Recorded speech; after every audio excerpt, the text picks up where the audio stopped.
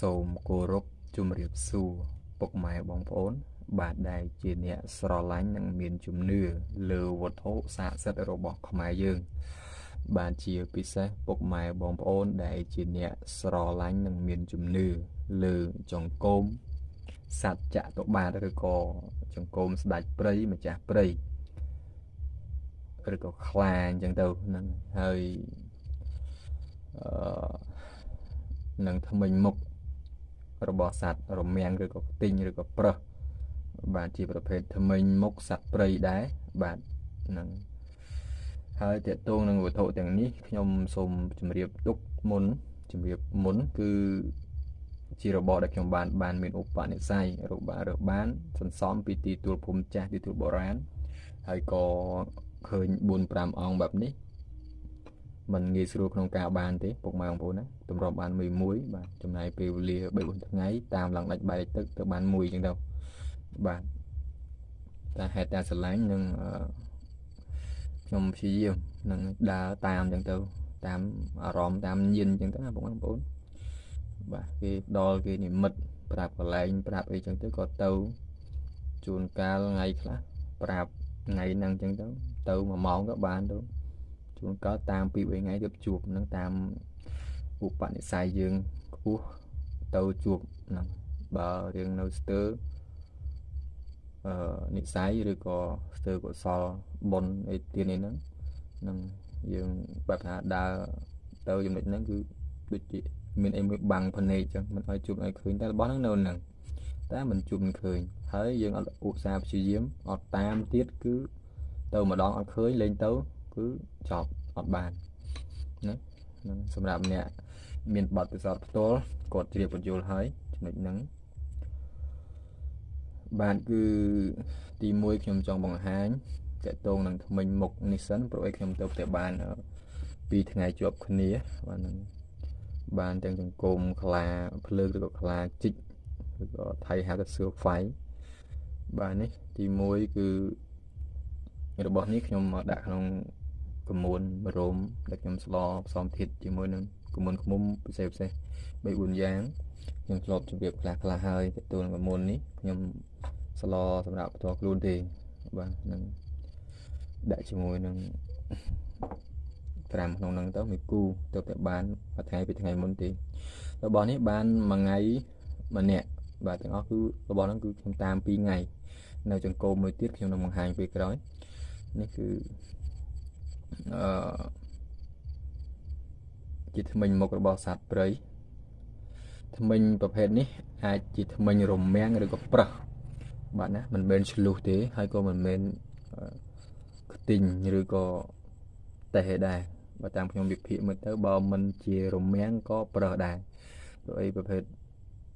អឺថ្មិញធំនឹងថ្មិញមុខក៏ធំស្ញិញចឹង បាទហើយប្រវែងដូចពុកម៉ែបងប្អូនឃើញជាក់ស្ដែង បាទមិនវែងមិនខ្លីល្មមបាទប្រហែលជាពីថ្នាំងដៃប្រហោងហើយសាច់វាឡើងចាស់ក្រឹកចាស់ក្រែងដីនៅជាប់អញ្ចឹងបាទណាគឺរបស់នេះបានជាមួយចង្គមតាក់ទងនឹងចង្គមហ្នឹងខ្ញុំនឹងជម្រាបពីក្រោយខ្ញុំទៅតាមចង្គមហ្នឹងទេតាមភ្លើងទៅបានរបស់ទាំងហ្នឹងអឺថ្មិញមុខសัตว์ ព្រៃមិនថាថ្មិញរមាំងថ្មិញប្រឹសថ្មិញខ្ទីងអីទេឲ្យតែជាថ្មិញរបស់តៃសាកបដីតាមព្រៃតាមចំការពុកម៉ែបងប្អូនខ្មែរយើងដែលគាត់មានជំនឿគាត់ជួបគាត់ឃើញសិតសឹងថាជាឧបនិស្ស័យរបស់គាត់ហើយហើយនិមន្តយើងយកមកបាទបើសិនជាគ្មានអីទេសាពះសូមនិមន្តយកទៅនៅជាមួយយើងមកផ្ទះយើងអញ្ចឹងទៅដើម្បីសូមសុខសុខសប្បាយសុខលាភជ័យទៅនឹងគឺជារបស់ តៃសាធម្មជាតិនិងតៃសាដោយធម្មជាតិរបស់កបដីអញ្ចេះគឺមានអនុភាពស័ក្តិសិទ្ធិនិងការពារសត្រាវុធក្របរំសេវនិងក្របផ្ទុះនិងគ្រោះកាចទាំងពួងនិងពពួកផ្លូវក្នុងផ្លូវងឹតនិងខាងស្នេហ៍រកស៊ីស្នេហ៍ប្រជាប្រិយភាពស្នេហ៍ទុនចិត្តស្នេហ៍មុខស្នេហ៍សំឡេងស្នេហ៍100គុណអញ្ចឹងទៅណាពុកម៉ែបងប្អូននឹង គឺសាច់របស់គាត់ខ្ញុំត្រាំ9បានមួយយប់បាទគឺឡើងសាច់បែបហ្នឹងបាទជាក់ស្ដែងគឺឡើងចាស់ក្រឹកចាស់ក្រែងឡើងពុកហើយពុកម៉ែបងប្អូនបាទហ្នឹងតែសភាពសាច់តម្រង់សន្តានថ្មិញខាងលើនេះគឺនៅល្អស្អាតទាំងគូទាំងម្ដងបាទថ្មិញមុខអសត្វព្រៃណាបើ មិនជារមាំងក៏ប្រឹសសម្រាប់ខ្ញុំបាទវិភាគឃើញបែបហ្នឹងពិនិត្យមើលទៅហ្នឹងបាទណាពុកម៉ែបងប្អូនមួយគូបានពីរថ្ងៃបានមួយគូហ្នឹងនឹងហើយតមកគឺក្រោយនេះគឺជាគោមរបស់ខ្លាភ្លើងឬក៏សឿហ្វៃបានខ្ញុំត្រាំក្នុងកឡកម្ពុជាដូចគ្នាបាទ គឺថ្វាយនៅមុខអាសនៈគ្រូ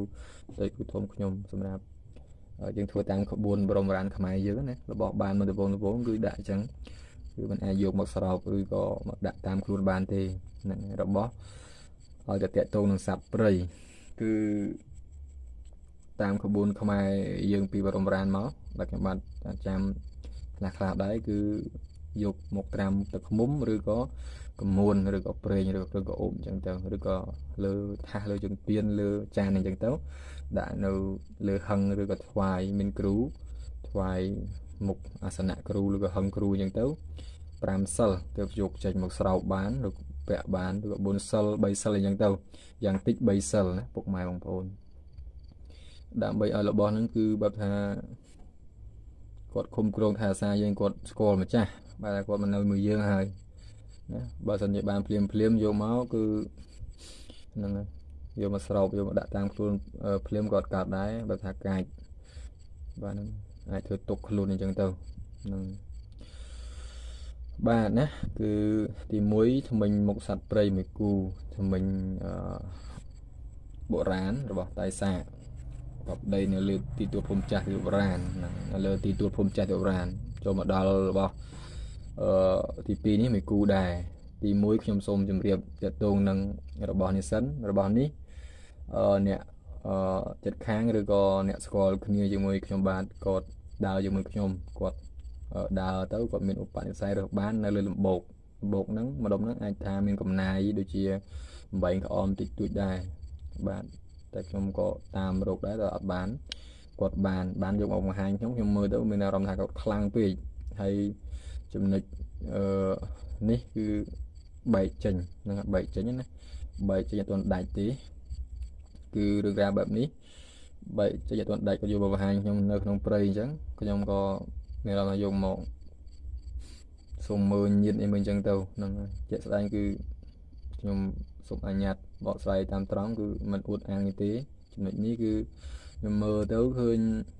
ខ្លាំងនឹងហៅមកញាក់ឲ្យខ្លាំងអញ្ចឹងណាអញ្ចឹងអត់ហ៊ានទេ ហើយណាមួយរបស់គាត់មានអបអស័យខ្ញុំឲ្យគាត់ទៅទុកខ្លួនឯងទៅមានជំនឿដែរហើយខ្ញុំយកទុកបានជួបបានឃើញហើយក៏គាត់យកទៅតាមខ្ញុំមែនដល់ពេលខ្ញុំទៅលេងទៅគាត់ឃើញរបស់ហ្នឹងជ្រុះនៅក្រោមមិនក្រោមក្រេទេបើថាជ្រុះនៅក្រោមគៀកកញ្ចុះអញ្ចឹងណាកញ្ចុះឡើងអង្គុយលេងអញ្ចឹងទៅដល់ពេលគាត់ថាខ្ញុំសួរគាត់ទៅគាត់ថាបាត់នេះរបស់នេះមិនជ្រុះរបស់នេះខ្ញុំថានេះរបស់នេះជ្រុះនៅដីអញ្ចឹងម្ចាស់គេហ្នឹងគាត់ថាអឺ ខ្ញុំបាត់យូរហើយបាត់ពីរថ្ងៃទៅឃើញខ្ញុំមកឃើញអញ្ចឹងក៏គាត់ជូនមកឲ្យខ្ញុំជូនមកខ្ញុំខ្ញុំក៏យកមកហើយចំណុចនេះខ្ញុំសួរគាត់ថាមិនប្រេះអញ្ចឹងប្រហែលជាអីបើកិនបើជន់ហ្នឹងដាច់ចេញពីគ្នាអញ្ចឹងណាពុកបងប្អូនប្រេះធម្មតាប្រេះពីធម្មជាតិមកប្រេះបែបថា30 70%ហ្នឹងនៅជាប់30%ដល់ពេលខ្ញុំឃើញទៅក៏បែបថាឃើញស្នាមដាច់ពីគ្នាអញ្ចឹងស្រាប់បាទពេលដែលខ្ញុំទៅលេងផ្ទះគាត់ហ្នឹង គឺជួលរបស់ហ្នឹងជ្រុះនៅនៅក្រោមនៅតាយ៉ាបអឺកញ្ចុះហ្នឹងណាឡែកអង្គុយលេងហ្នឹងអញ្ចឹងខ្ញុំយកមកបង្ហាញគាត់ដំបូងឡើយខ្ញុំអត់ប្រាប់គាត់ទេខ្ញុំដើរមកសួរគាត់ទៅពេលអញ្ចឹងអឺគាត់ប្រាប់ទៅខ្ញុំក៏ចូលទៅរបស់ហ្នឹងអញ្ចឹងគាត់ជូនមកខ្ញុំខ្ញុំជូនមកចែកគាត់តាមលទ្ធភាពខ្ញុំមាននេះគឺជាចង្គមសួរហ្វៃឬក៏ខ្លាភ្លើងឬក៏ខ្លាជីកដូចគ្នាដែរតែបានកន្លែងផ្សេងគ្នាទី1នេះគឺជារបស់អឺដូចខ្ញុំជម្រាប ខាងដើមអញ្ចឹងគឺប្រភេទនេះលើអត់ប្រហោងទេគឺតាន់បាទតាន់អញ្ចឹងហើយខ្ញុំឆាបខ្ញុំខាត់กระดาษខាត់ហ្នឹងឲ្យរឿងលោងតិចដើម្បីឲ្យសមសួនហ្នឹងអញ្ចឹងត្រាំក្នុងកឡកមួនមកដល់លើច្រើនសល់ដែរបាទគឺសាច់គាត់ខ ខុសគ្នាពីរបស់បុរាណរបស់លើទួលបុរាណ ជាស្ដែងពុកម៉ែបងប្អូនឃើញស្រាប់ហើយណាខុសគ្នាតែសន្តានចង្គមតែមួយទេបាទសឿហ្វៃឬក៏ខ្លាភ្លើងនេះភាគច្រើនគឺបង្ហូតឈាមមិនសូវជាមានទេខ្ញុំឆែកមើលខ្ញុំមើលក្នុង YouTube របស់ថៃក៏គេបង្ហាញបែបហ្នឹងដែរភាគច្រើនគឺឲ្យតែគាត់តៃសាគាត់អាយុកាលចាស់ដឹងតែគាត់ឆ្នោតអឺសាប់ស្វាយហ្នឹងប្រេះសាប់ស្វាយអញ្ចឹងមកមកឆ្នោតអញ្ចឹង ពីចុងមកដល់គល់អញ្ចឹងតែមិនប្រេះខ្លាំងទេសាប់ស្វាយប្រេះខាងសបកខាងក្រៅជាក់ស្ដែងពុកម៉ែបងប្អូនពុកម៉ែបងប្អូនឃើញស្រាប់ហើយណានេះគឺបែបហ្នឹងទាំងសងខាងភាគច្រើនគឺពាក្យកដាលចកុំតែម្ដងខាងថៃក៏គេបង្ហាញមកខ្ញុំក៏មើលទៅដូចគ្នាដែរហើយចង្គមឆ្កែព្រៃឬក៏ជាគោមឆ្កែខ្ញុំមើលរួចហើយមិនមែនទេនេះគឺជាចង្គមសឿហ្វាយឬខ្លាជីកឬខ្លាភ្លើងខ្មែរហៅខ្លាខ្លាភ្លើងថៃហៅសឿហ្វាយអញ្ចឹងទៅ ឬក៏ខ្លាជីកតាមតំបន់ហៅផ្សេងផ្សេងគ្នាហ្នឹងអញ្ចឹងរបស់នេះខាងលើណាបងប្អូនខ្ញុំអឺវិភាគមើលខាងលើចង្គមខាងលើ បាទចង្គមខាងឆ្វេងដូចគ្នាបាទណាហ្នឹងខាងឆ្វេងដូចគ្នាបាទតែមួយលើមួយក្រោមរបស់នេះអឺអ្នករាប់អានជាមួយខ្ញុំជូនមកឲ្យខ្ញុំហ្នឹងគឺខាងលើសឿហ្វៃឬក៏ខ្លាជីកខ្លាភ្លើង ជាសត្វប្រភេទខ្លាមួយប្រភេទដែលផុតពូជហើយសពថ្ងៃបាទនៅសល់មួយមួយបើតាមខ្ញុំបាទអឺជ្រាបខ្លះខ្លះនៅតាមជាដែនបាទណាឬក៏នៅតាមព្រៃជ្រៅធំធំសឿហ្វៃឬខ្លាភ្លើងជាប្រភេទខ្លាមួយប៉ុនបែបថាធំជាងឆ្កែបន្តិចបាទថាប៉ុនឆ្កែបាក់សេចុះហ្នឹងហើយគាត់ខ្លាំងទាំងជើងលើជើងក្រោមអញ្ចឹងណាឡើងឈើដើមឈើក៏រួច ដើរដីក៏ជំនាញនេះទាំងលើទាំងក្រោមបាទជំនាញទាំងលើទាំងក្រោមហ្នឹងបាទហើយមិនសូវជាមានប្រភេទចង្គមអឺប្រភេទសត្វហ្នឹងសពថ្ងៃផុតពូជអស់ហើយបាទណាហើយរបស់នេះគឺអាយុកាលវិភាគមួយគ្នាទៅគឺមិនចាញ់គ្នាប្រហែលទេបាទសាច់របស់គាត់ស្នឹមនេះគ្នា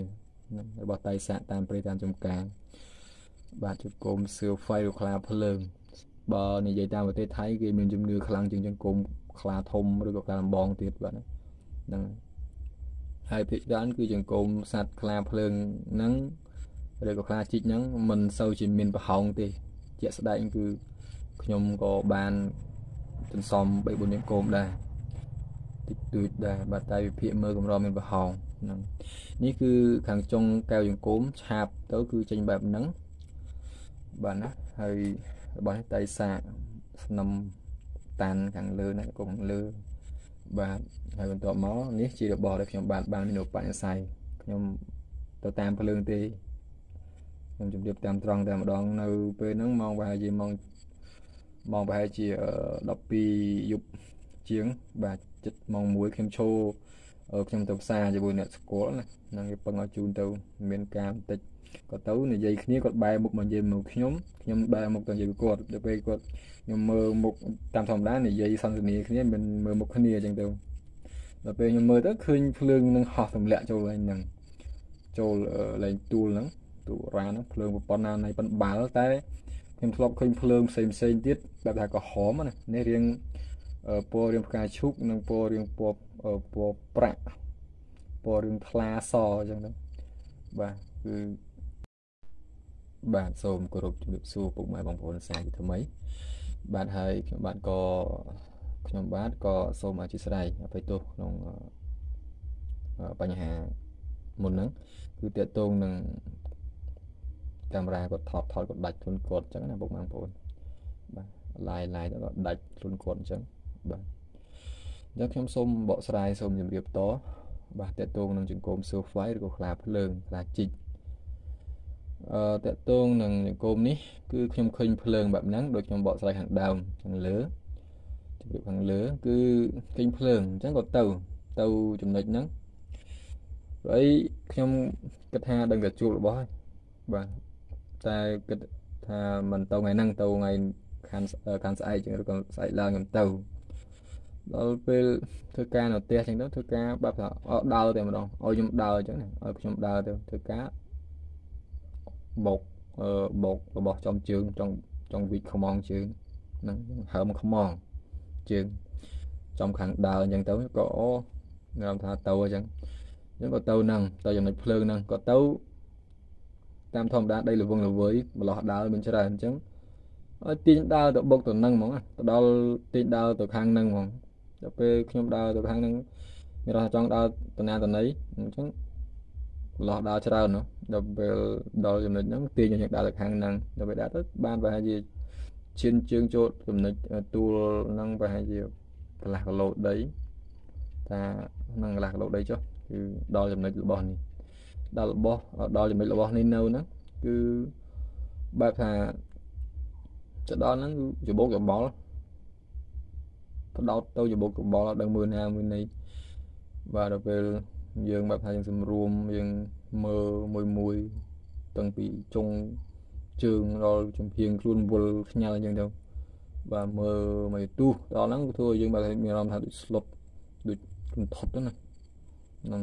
បេះដូងនៅខុសចង្វាក់អញ្ចឹងទៅបាទដល់កន្លែងគេដល់កន្លែងគេបង្ហាញអញ្ចឹងញិនគេបាទថាចូលមកប្រាមកអីចឹងទៅគឺធ្វើឲ្យយើងពិបាកក្នុងខ្លួនដែរហ្នឹងដល់ពេល ស្លុតបើតែរោមមើលក៏អត់យល់ដែរមកទុះទៅទៅសម្រួមបានអញ្ចឹងមកក៏ដាក់ភ្នែកទៅចំរបស់ហ្នឹងមិនមានថាពិបាកខ្លាំងទេលក្ខណៈថាដំបងគឺមកមកផ្លេតមកយើងដើរដល់ចំណុចរបស់ហ្នឹងគឺធ្វើឲ្យយើងច្បុកច្បល់មកផ្លេតដែរបាទហ្នឹងទៅមិនត្រូវទេមិនត្រូវអញ្ចឹងបាទអញ្ចឹងក៏សម្រួមបានមកក៏ដាក់ភ្នែកទៅចំរបស់ហ្នឹងហើយក៏ខ្ញុំធ្លាប់បង្ហាញហើយថតហើយ ផុសម្ដងហើយណាគឺបែបហ្នឹងរបស់ខ្ញុំទៅតាមភ្លើងទេបាននឹងរបស់ហ្នឹងហើយប្រភេទនេះជាចង្គមខាងក្រោមសៀវហ្វៃឬខ្លាភ្លើងបាត់បាទហើយប្រហោងទៀតបងប្អូនខាងក្រោមបាទហើយប្រហោងប្រភេទប្រហោងល្អណាបងប្អូនជ្រាបហើយពុកអឺខ្លះខ្លះហើយណាបាទតកតងនឹងចង្គមខ្លាមិនថាខ្លាអ្វីទេភាគច្រើនគឺគេយកប្រហោង ពិសេសជាងតាន់បាទហើយរបស់ចង្គមខាងលើខាងក្រោមមានតាន់មានប្រហោងតែមិនដឹងថាមួយណាខាងលើខាងក្រោមទេតែជារបស់របស់នេះគឺជារបស់ដែលខ្ញុំវត្ថុនេះខ្ញុំបានមានឧបនិស្ស័យបានជួបបានឃើញនៅផ្ទាល់ដៃខ្ញុំមើលហើយខាងក្រោមវិភាគមើលខាងក្រោមពិនិត្យមើលខាងក្រោមណារបស់នេះខាងក្រោមរបស់គេជូននេះខាងលើណាខាងលើបាទ នឹងអញ្ចឹងជាគូរបស់គាត់នឹងប្រហោងល្អជាងតាន់នឹងគឺបែបហ្នឹងណាពិសេសជាងតាន់បាទបាទអញ្ចឹងតកតងនឹងការបង្ហាញខ្ញុំសូមអនុញ្ញាតអភ័យទោសជាស្រ័យទុកផងពុកម៉ែបងប្អូនខ្ញុំសូមបង្ហាញប៉ុណ្ណឹងសិនបើខ្ញុំធ្វើคลิปវែងអញ្ចឹងខ្លាចរំខានដល់ពុកម៉ែបងប្អូនពិបាកនឹងការតាមដានទស្សនា คลิปវីដេអូក្រោយខ្ញុំនឹងបង្ហាញក្នុងចាននេះតិចទៀតណាម្ដងទៀតនឹងคลิปវីដេអូថ្មី